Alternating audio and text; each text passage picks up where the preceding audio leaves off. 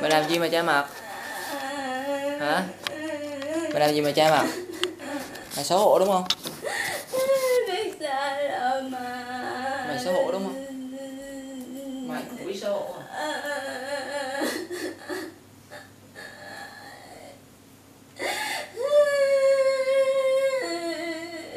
Đang nói sợ mẹ nữa Thế mày nói thử tao như thế nào lúc mày Em biết sai rồi À. lúc mày đi ngoại tình mày nhớ được tao à mày cũng ngoại tình hả Em có làm như vậy thật tiên văn đó là mày chưa kịp làm gì với họ. Mày chưa kịp làm gì. Làm tao về sớm. Tao phải đà nẵng sớm. Tao phải đà sớm. Biết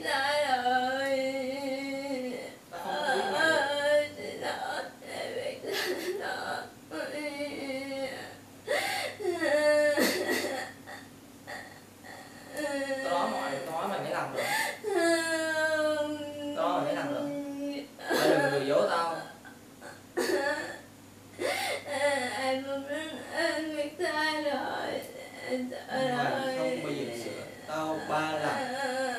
Lần thứ ba rồi. Hai lần đầu tao là nghi nghi rồi. hai lần đầu tao là nghi nghi rồi.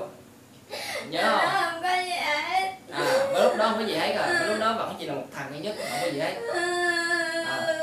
Còn bà thằng sơn với ai đâu? Đúng không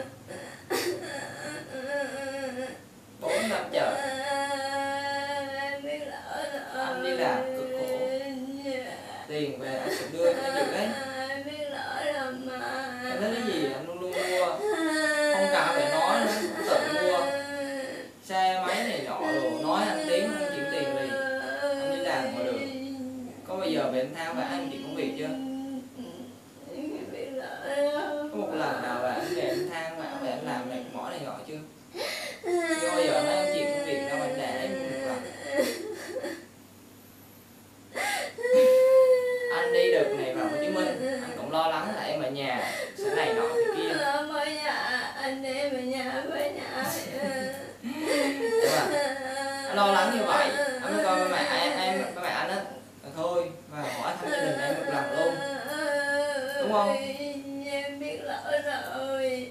Em sai phải ba mẹ anh phải vào tức ê em làm sao thức lúc mấy trăm cây số?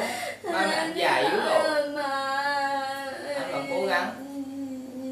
nghe thuyết phục ba mẹ cố gắng vào giúp con một lần. tại vì xin giờ chị đám cưới tới một thời gian nữa để cho con có thể em ổn định công việc lại. Bởi vì con sắp thành lập công ty. Em. Em Anh ra Hồ Chí Minh đợt này.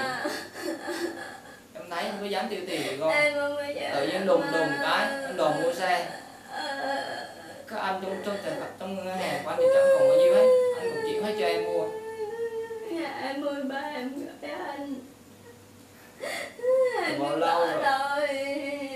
Em lắm mà gì mà anh yêu đâu phải như em bây giờ đâu Em biết lỗi rồi Ai cũng có phút sai lầm mà cái sai lầm của em là không không không, không cứu được. Dạ. Em à